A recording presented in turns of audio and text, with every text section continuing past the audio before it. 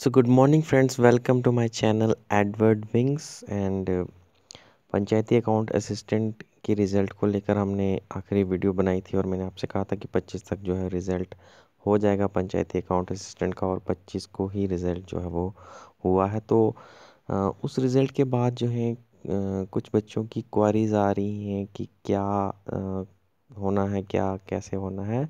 तो दो तीन जो सवाल मुझे बार बार काफ़ी बच्चों ने जो क्वारीज भेजी हैं, आज हम उन क्वारीज को डिस्कस करेंगे। क्वारीज को डिस्कस करने से पहले मैं जितने भी स्टूडेंट्स सिलेक्ट हुए हैं सिलेक्शन लिस्ट में जिन्होंने फॉल किया है, उन सबको मेरी तरफ़ से बहुत बहुत मुबारकबाद हो। आप जो है कामयाबी की बुलंदियाँ छुएँ और जो बच्चे सिलेक्ट नहीं हो पाए हैं इस लिस्ट में, जो भी अनसेलेक्टेड बच्चे रह गए हैं उनसे मैं यही कहूँगा कि आप पेशेंस रखिएगा और ख़ुद को डीमोरलाइज मत कीजिएगा, क्योंकि ये ज़िंदगी का आखिरी चांस तो नहीं था। आपको इससे पहले भी काफ़ी चांस मिलेंगे, आपको ये चांस भी मिला और आपको आने वाले वक्त में भी आपको ये चांस मिलेगा। और आने वाले वक्त में आपको बस यही देखना है कि हमारी कहाँ पर हम, हमारी खामी जो है या कहाँ पर हमारी कमी रही है जिसकी वजह से हम सिलेक्ट नहीं हो पाए हैं और उस कमी को और मज़बूत करने की कोशिश कीजिए, उस खामी को भरने की कोशिश कीजिएगा, ताकि आने वाले टाइम में जो है आप उस कमी की वजह से आगे वाले, आने वाले टाइम में आपको कोई नुकसान ना हो और आने वाली जो भी एग्ज़ाम्स हैं, बहुत सारे एग्ज़ाम्स हैं आने वाले जेके बैंक का है फाइनेंस डिपार्टमेंट का है देन ट्रांसपोर्ट डिपार्टमेंट का और और भी काफ़ी सारी पोस्ट जो है वो एडवर्टाइज़ ऑलरेडी हो चुकी हैं के की पोस्टें भी एडवर्टाइज़ होने वाली हैं तो बहुत ज़्यादा चांसेस आपके पास हैं। तो इस चीज़ को लेकर आप डीमोरलाइज मत कीजिएगा खुद को। इसी चीज़ पर बिल्कुल चिपक के मत बैठ जाइएगा कि मेरा नहीं हुआ तो बस अब मेरा हो ही नहीं पाएगा। अगले एग्ज़ाम की तैयारी कीजिए और भूल जाइए इस पेपर को। जो नहीं सिलेक्ट हो पाए लेट इट बी जो हो गया, सो हो गया। आगे की तैयारी कीजिए। आगे आपके लिए और चांस है और आगे वाले चांसों को ब्राइट बनाने की कोशिश कीजिए। ना कि आप इसी दुख को लेकर आप बैठ जाएँगे, यहाँ नहीं हुआ है, बस मेरा तो हो ही नहीं सकता। तो यहीं बैठ कर रोने से अच्छा है, आप अगले पेपर्स की तैयारी कीजिए और अगली बार जो है कोई भी कमी पेशी मत छोड़िए और अगली लिस्ट में आप खुद को सिलेक्शन लिस्ट में ला कर रहिएगा। तो उन सबको मेरी तरफ़ से ऑल द बेस्ट। है दो मिनट।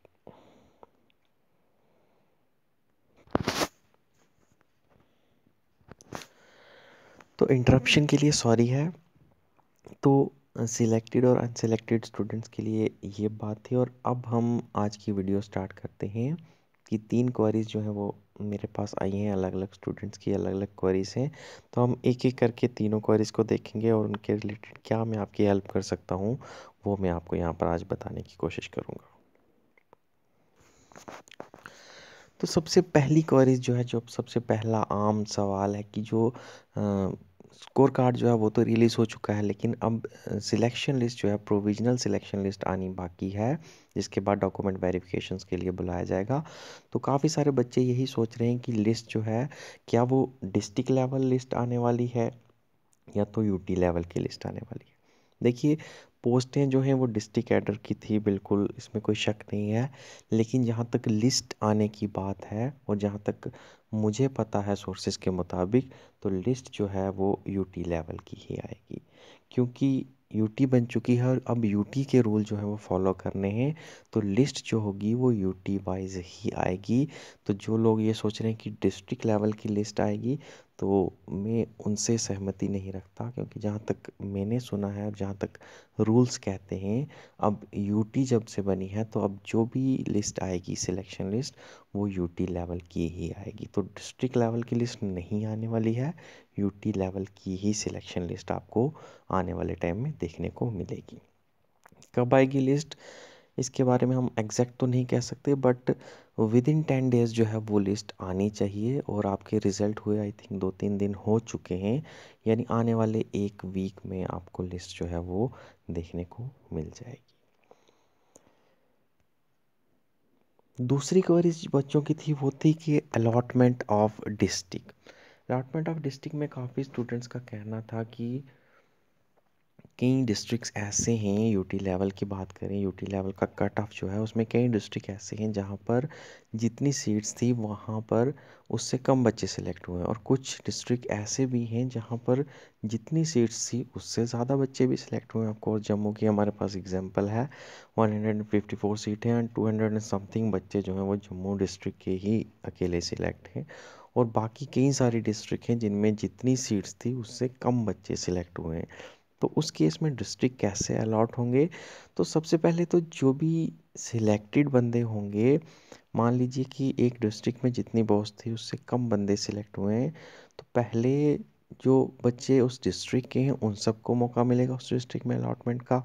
और उसके बाद फिर बाहर के डिस्ट्रिक्ट के बच्चों को देखा जाएगा कि उनकी कौन सी प्रेफरेंस है किस डिस्ट्रिक्ट में और उसके हिसाब से जो है उन्हें डिस्ट्रिक्ट अलॉट किया जाएँगे। और जो भी ज़्यादा जिस जैसे कि जम्मू की केस है, वहाँ पर ज़्यादा बच्चे सिलेक्ट हो गए हैं तो वहाँ पर पहले जो वन फिफ्टी फोर है, उन्हें जम्मू डिस्ट्रिक्ट ही मिलेगा ऑफ़ कोर्स उसके बाद जो भी बचे खुचे होंगे, उनकी उनकी, उन्हें सेकंड प्रेफरेंस में या थर्ड प्रेफरेंस में जहाँ भी वैकेंसी जो है, खाली दिखेगी, उनको वहाँ पर एडजस्ट उस हिसाब से ही किया जाएगा। तो दूसरी क्वारी ये थी अब तीसरी और आखिरी क्वारी जो कि काफ़ी सारे बच्चों की है काफ़ी सारे मैसेजेस मुझे आए और कहा गया कि सर ये बताइए कि आ, क्या एक स्टूडेंट जो कि ओपन कैटेगरी में यहाँ पर फॉल कर रहा है मेरिट लिस्ट में क्या वो अपनी कैटेगरी का यूज़ करके आ, खुद को अपने प्रेफर डिस्ट्रिक्ट में एडमिट एडमिशन वगैरह करवा सकता है? तो नहीं तो इसका आंसर बेटा मैं कहूँगा कि नो ऐसा कोई भी रूल जो है वो जे के एस एस बी का आप इंडिया के किसी भी एग्ज़ाम में चले जाइए, ऐसा कोई रूल नहीं है। और यहाँ पर मैं आपको नोटिफिकेशन भी बताता हूँ जम्मू कश्मीर का।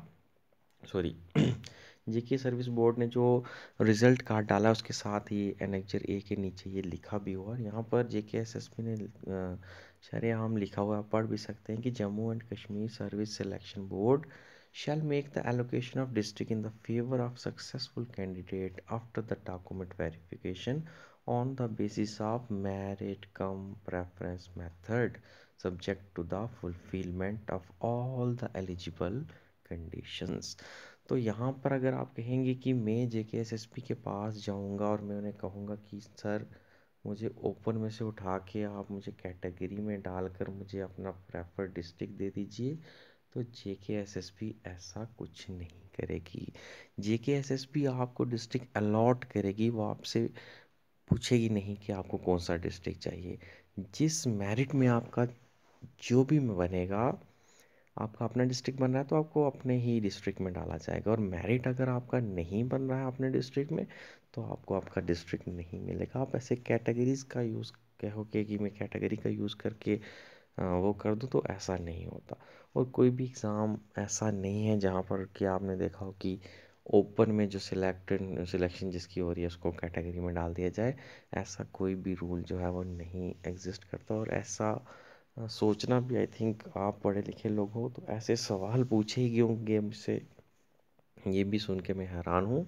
लेकिन चलिए, सवाल था तो जवाब देना ज़रूरी था तो ऐसा कोई रूल एग्जिस्ट नहीं करता और जैसा कि मैंने आपको नोटिफिकेशन में भी बता दिया है कि मेरिट कम प्रेफरेंस जो है तो okay merit cum preference method का यूज़ होगा और उसके हिसाब से आपको डिस्ट्रिक्ट जो है, उसकी एलोकेशन होगी। आपसे कैटेगरी या दूसरी ऐसी कोई चीज़ कह के आपको कुछ भी उसका एडवांटेज जो है वो नहीं मिलने वाला है।